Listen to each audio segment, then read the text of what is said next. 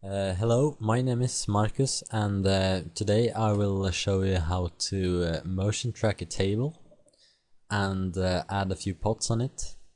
This is the final result.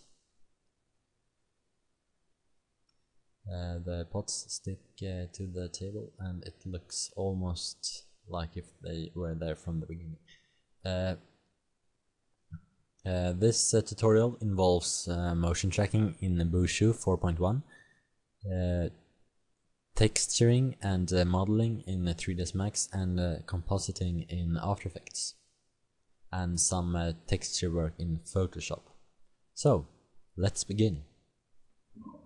And now we are here in After Effects, and I have to render an image sequence to import in to Boujou and uh, later on into uh, 3ds Max. Uh, this is uh, what my footage looks like and uh, I'm going to add some uh, pots on the table here.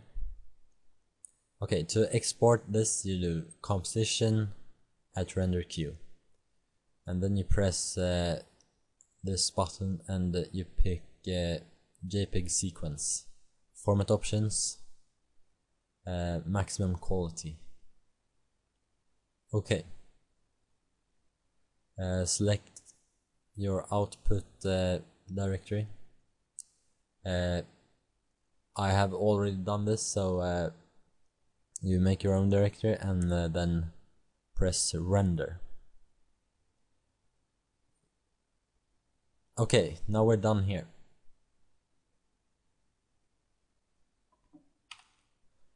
Okay, now we are in uh, Boujou, Boujou number four.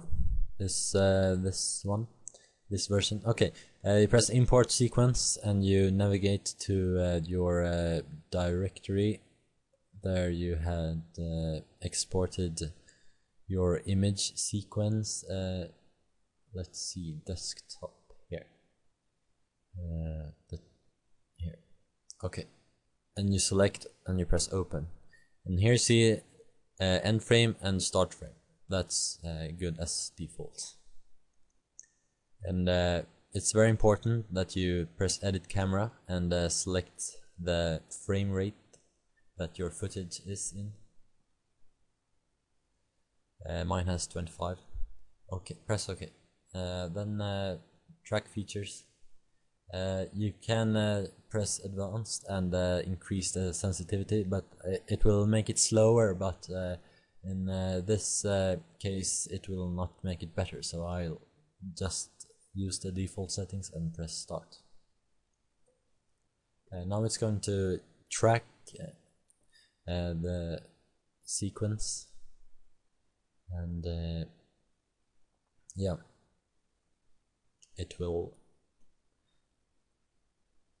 only track 2D so so far.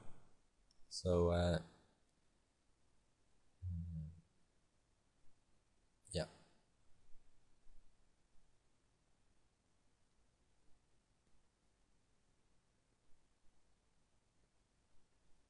Almost done.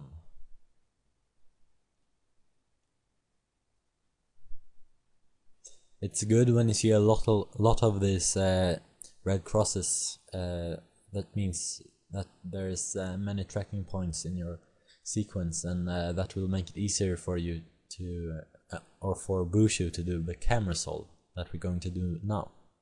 Press camera solve uh, all frames and uh, optimize camera path smoothness is yeah and press start. Now it's going to solve for the camera and uh, calculate the 3D points and the camera position. There you can see right now it's the points stick to the table and the background pretty well.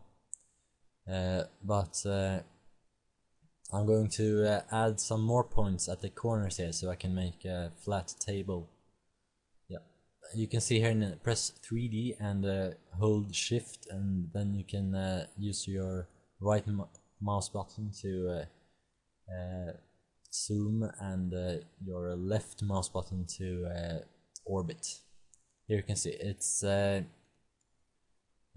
scene is rotated here. This is the table and it should be flat, but we will fix that in a moment. Let's go back to the 2D view and press add target tracks. Move to the front of the beginning.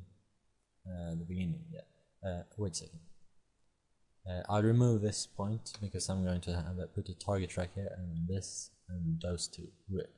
Uh, actually, we'll only need the moving camera and the points at the corners of the table.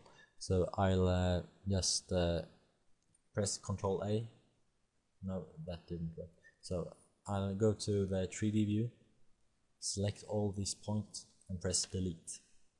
But the, as you can see, the camera is still moving here. We have a still the moving camera.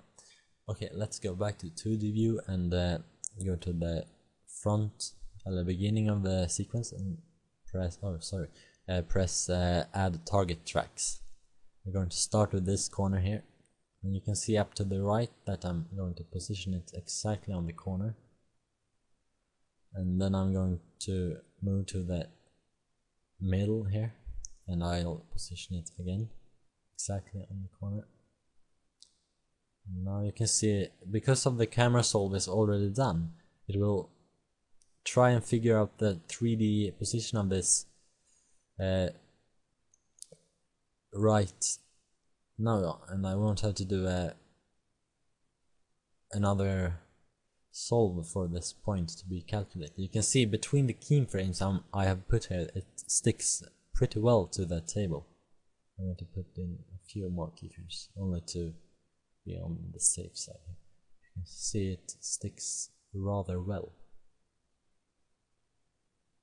okay uh, now that's good then uh, right click and press toggle edit mode now that uh, target track is done you press add target tracks again and you we can go to this uh, corner. And the we'll do just as I did. Move forward a couple of frames. Position it again.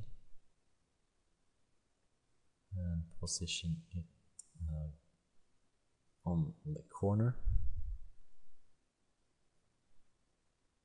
and uh, one more time. Yeah. And uh, the final keyframe like that. Now you see it sticks very well to the corner. That keyframe too. Right click right click toggle edit mode and uh, uh, then click away to get rid of the green and the highlight. Yeah. And add another target track on this corner uh, you can zoom by uh, holding shift and uh, dragging on your uh, right mouse button and uh, pan like this by holding your middle mouse button and shift at the same time. Okay. Same as I did before, I'm going to put keyframes here just to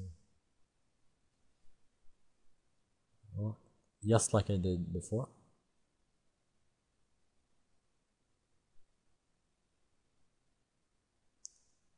It's very easy to make this uh, flat table. That uh, seems to stick well too so uh, right click toggle edit mode and uh, deselect